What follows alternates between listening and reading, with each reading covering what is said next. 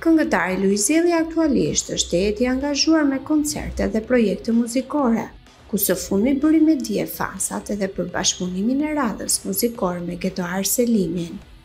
Ai është shprehur edhe në lidhje me rolin e tij të parë protagonist në filmin Në kuadër të dashurisë, si personazhi me emrin Besi, ku duket se ka hyrë në lëkurën e personazhit pasi gjen veten në rol. Lidhet me një pjesë të jetës time shumë të rëndësishme që kam përjetuar, ndaj edhe e kam gjetur veten shumë mirë në atë rol. Më pëlqen sepse e shoh veten ku jam sot dhe rikthehem tek ai Besi në rol dhe më bën të ndjehem mirë, të ndjehem vetvetja.